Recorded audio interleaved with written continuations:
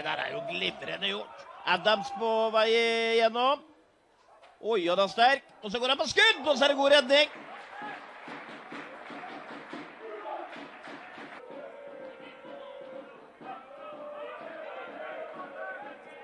Adams! Oi, oi, oi.